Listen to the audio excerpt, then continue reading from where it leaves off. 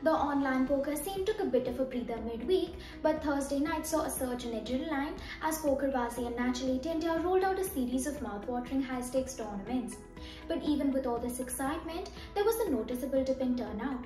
Why? Well, it seems like the DPT Xpress happening in Goa was calling to a lot of the mid-stakes regulars and pros. With so many players opting for the thrill of live poker, overlays became a common sight in most of the major online tournaments.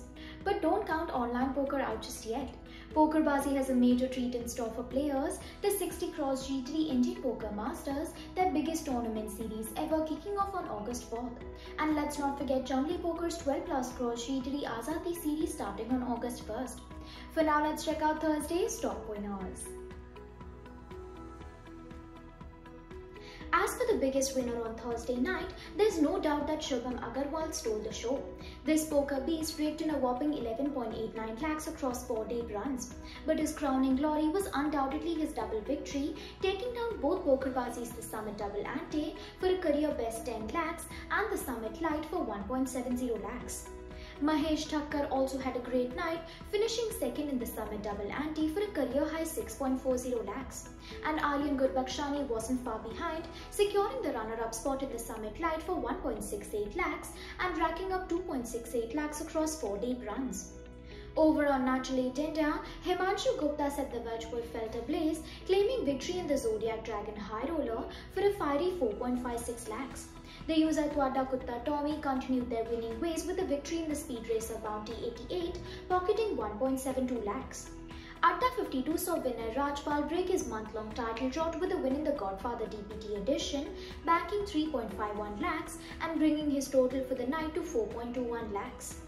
PokerBaazi player known only as the user Purple Parrot stole the show with a performance for the ages. Emerging from the shadows after a two-year hiatus, the user swooped in on July 18th and hasn't looked back. Thursday's haul was a rewarding 4.03 lakhs from 4 deep runs, fueled by back-to-back -back victories in PokerBaazi's daily micro high roller and 7 max daily sprint, plus a third place finish in the WTF. Not to be outdone, Saransh Garg continued his impressive run with a second place finish in PokerBaazi's daily micro high roller, netting 1.32 lakhs and bringing his Thursday total to 1.62 lakhs. Meanwhile, PokerBaazi stalwart Ramu Kushwaha continued his incredible run of form, clinching his fourth title of the month and 23rd of the year in the WTF, earning 3.06 lakhs.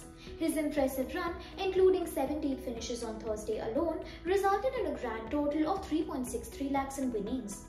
Thursday was all about double victories and Arpan Majhi nearly joined the ranks on this elite list. Majhi's first bid for a title in Spartan Poker's Ultron saw him narrowly miss out, taking home 1.40 lakhs as the runner-up. But he quickly redeemed himself with a decisive victory in PokerBaazi's daily last chance, clinching the title for 1.61 lakhs and taking home a total of 3.01 lakhs.